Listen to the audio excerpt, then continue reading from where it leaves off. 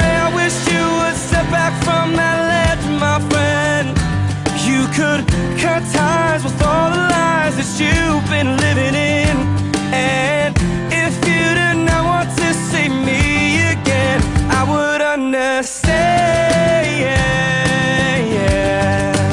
I would understand.